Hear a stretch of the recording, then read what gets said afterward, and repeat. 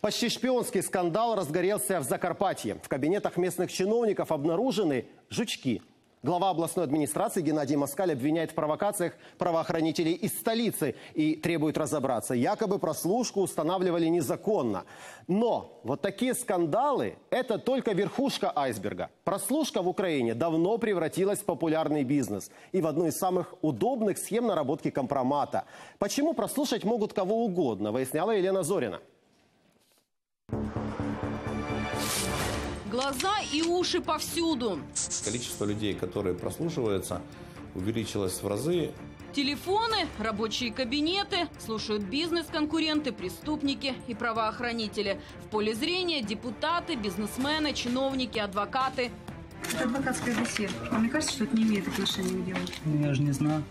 И даже главные борцы с коррупцией. Дбаю за рибок. Це йде ніхто. Точно не корумповані вони. История последних недель. Прослушка главного антикоррупционного прокурора Назара Холодницкого. Жучок в кормушке для рыб и разглашенные аквариумные пленки. как раз фигура Холодницкого, она э, сделана как некий показательный такой прием, знаете, чтобы все, кто сегодня, где бы они ни сидели, они могут вот за своим аквариумом обнаружить что-то. Киевский апелляционный суд, по информации юристов, один из лидеров по выдаче разрешений на прослушку. Но официально здесь о цифрах, как и о том, кого разрешают слушать, теперь не распространяются. Наш запрос, как и многих других коллег, оставили без ответа. Последние публичные цифры – 2016 год. Они показывают количество тех, кого слушают, за пять лет увеличилось в четыре раза.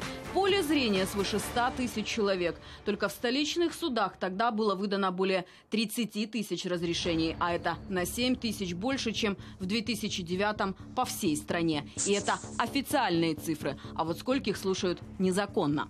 Ось протокол негласних слідчих розшукових дій. Він є таємний, він потім був розсекречений. Так і ось дивіться, адвокат Наум Віталій Миколайович. Тривалість розмови. Ось іде розмова. История двухлетней давности. Адвокат Виталий Наум уверяет, его разговоры с клиентом прослушивали почти полгода. А это запрещено законом. Тайные протоколы чуть не отправили его подзащитного в СИЗО. Протокол став підставою для зміни запобіжного заходу. Прокурор е, звернувся з відповідним клопотанням, пока- надав ці відповідні як додатки до клопотання розмову мою з клієнтом і намагався її використати е, в судовому засіданні. Слушать незаконно или полузаконно схем достаточно много, рассказывает адвокат Игорь Черезов. Одна из самых популярных, когда твой номер просто вписывают в ходатайство о прослушке в рамках дела, к которому ты не имеешь никакого отношения. Есть такой даже термин «пристегивают» а, номер к другому уголовному делу. Человек подозревается в совершении какого-либо преступления, достаточно программой замена номера позвонить э, ему с номера, якобы номера телефона человека, который интересен для прослушки, и даже условно честный судья скажет, да, действительно, эти люди между собой общаются. Адвокат говорит, безопаснее пользоваться не телефонной сетью, а мессенджерами. Но и тут есть подвох.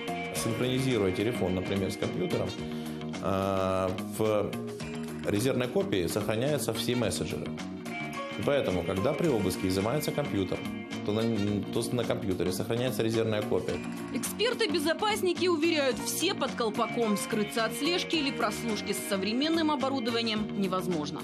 Если вами занялось государство, то по телефону, не по телефону информацию снимут. Стекла на окнах, там какие-то устойчивые металлические детали, э, они все акустически собирают в себя, резонируют эти волны, они могут быть технически сняты. Но все же выход есть.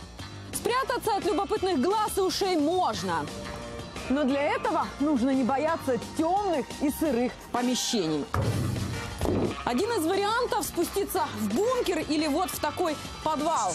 Здесь, видите, даже телефонной связи нет.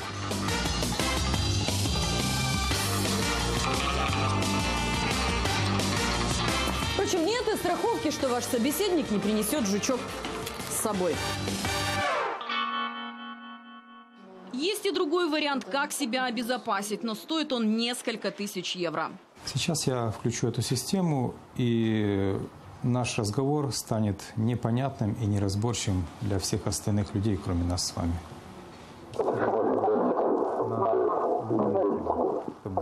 А вот что на самом деле слышим мы в наушниках. Мы можем с вами поговорить о чем угодно. То есть коллеги сейчас не слышат? Да, коллеги сейчас ваши не слышат и не понимают суть нашего разговора.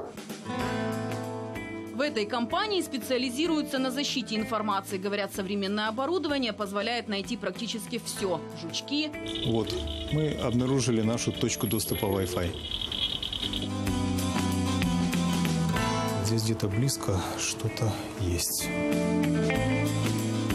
Это наш мобильный телефон.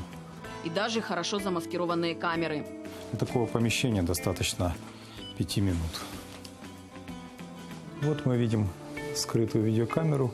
Это на самом деле муляж. С такими просьбами, говорит Роман, украинцы обращаются довольно часто. Это практически все слои населения.